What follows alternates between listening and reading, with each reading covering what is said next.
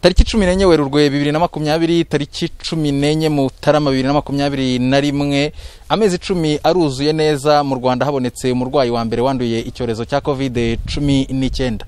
Muri aya mezi icumi leta y'u rwanda n'inzego z'ubuzima by'umwihariko bakomeje gukora ibishoboka byose kugira ngo abanduye iki cyorezo bitabweho ahubatswe ibikorwa remezo bitandukanye. By'umwihariko ahangaha ku bitaro bya nyarugenge ni ho harimo kwifashishwa mu kwita ku barwayi b'indembe banduye iki cyorezo nyuma y'ikigo cyari kimenyereye ko ari cyo gifashirizwamo aba barwayi i kanyinya naho muri aka karere ka nyarugenge.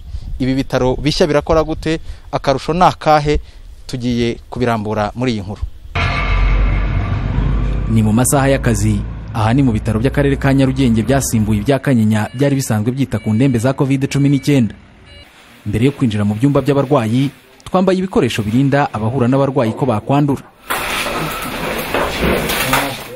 Twinjiye mu cyumba cy'abarembye kurusha abandi. Bamwe muri bo baracyabasha kumva kuvuga cyangwa kureba uwinjiye aho bari mu gihe abandi batazi aho baryamye. Amajwi y'imashini zo kwa muganga ziri iruhande rwa buri murwayi nizo zumvikana cyane muri iki cyumba aho bose bari guhabwa umwuka wa ogisijeni mu gihe ijisho ry'abaganga naryo ridahuga barahihibikanira kurokora ubuzima bw'izo ndembe ku buryo hari ubwo usanga itsinda ry'abaganga barenga batanu ku murwayi umwe.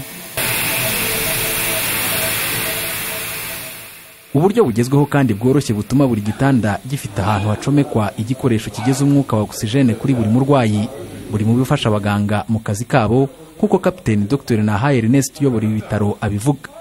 Tukiri i kanyinya tuba dufite ikibazo cy'ukuntu umuntu abona umwuka.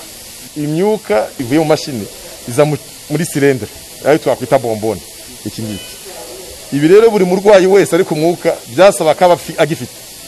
Aba nk'aba bari hano barembye iki ngiki kimara amasaha maximum atatu. Ubwo rero atatu mu masaha makumyabiri n'ane usanga ukoresheje umunani. Ibyo bicupa umunani ubisimburanya ku munsi izo mbaraga n'iki n'abakozi byatuma aho kwita ku murwayi usanga uri gushakisha uburyo uwo mwuka udahagarara.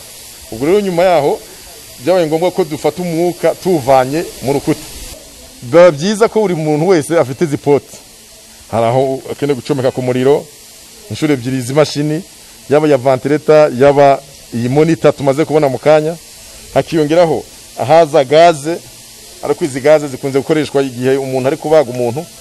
Muri hano mu ndembe ntizikunze kuzikoresha noneho hakaza n'umwuka ogisijeni uzana kano kapareye ugagahomekaho gusa. Bikaba birarangiye uwo mwuka agakomeza awubona. Mu barwayi mirongo inani na babiri twasanze muri ibi bitaro makumyabiri na bane nibo bari bageze mu cyiciro cy'abarembye kurusha abandi aho babiri muri bo bari ku mashini izwi nka vantileta ibafasha guhumeka no kugeza umwuka mu bihaha byabo. Ibyo kandi birajyana no kureba uko ubuzima bw'ibihaha byabo buhagaze hifashishijwe imashini izwi nka radiyogarafi ubusanzwe umuntu wese ari ku mashini biriya bihaha bye tuba tubireba buri munsi. Ubwa mbere hari ibikoresho dukoresha twakwita nka za tube za tiyo uba ushaka kureba aho zigeze. Iyo ubishyizemo ushobora kurenga ugasanga wibesha ugendeye ku mibare usanzwe ukoresha ariko ugasanga ntigeze ahakwiriye kugera cyangwa se yaharenze. Iyo ukoze ya radiyo urayibona noneho ukayihuza ugendeye n'ifoto baguhaye. Ikindi cya kabiri radiyo idufasha kumenya ese ibihaha by'umuntu bihagaze. Yaba ari wa wundi noneho turi buhave dushyira ku mashini cyangwa se umwuka ari guhabwa hari aho ugera ubu niyo mpamvu twiyambaza ya mashini yo vantilete imwongerera umwuka ikanamufasha no guhumeka ku rundi ruhande hari ibindi byumba birwariyemo abatarembye cyane batangiye gutora agatege ariko nabo baracyongererwa umwuka. Abarwariye aha bose usanga bafite ubuhamya bwihariye kuri iki cyorezo. Ari naho bahera basaba buri wese gukanguka akarusho gukaza ingamba zo kukirinda ngende muri bamwe n'iyi ndwara ntemeraga kwibaho nkumva ko ni nka politiki ya leta nkumva iyo ndwara ni inyamahanga ntabwo mu rwanda inahari. Ubwo rero maze kugira ibimenyetso nkumva ko ndwaye malariya nkumva ko ndwaye iki njya kwa muganga bamfata ibizamini malariya bayibura mbese indwara zose bazishaka bazibura. Nubwo bati ugomba kwipimisha kovide ndaremba nijoro mbura umwuka. Mpamagara ambiranse bansizaga ibiti mfata nzana hano. Bampa ubutabazi bw'ibanze bampa umwuka mbona mbaye umuntu muzima. Bampa imiti ndayifata numva ndakomeye. Ubwo rero nta buhamya n'aho abanyarwanda bo hanze aha indwara iriho. Iriho indwara irahari kandi irakaze. Ni indwara ntabwo ari akarwara.